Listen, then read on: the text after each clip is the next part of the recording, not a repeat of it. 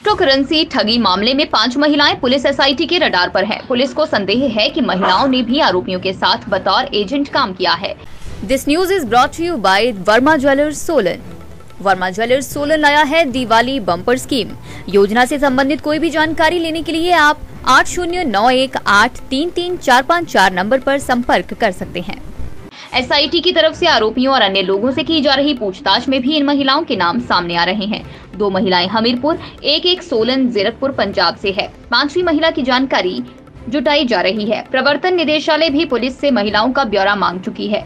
गिरफ्तारी से पहले एसआईटी इसके खिलाफ पुख्ता सबूत जुटा रही है। इससे पहले एसआईटी एक महिला को भी गिरफ़्तार कर चुकी है। अब तक मामले में 10 आरोपी पकड़े जा चुके हैं। वहीं अब तक आरोपियों की साढ़े नौ करोड़ रुपए की संपत्ति भी जब्त की जा चुकी है।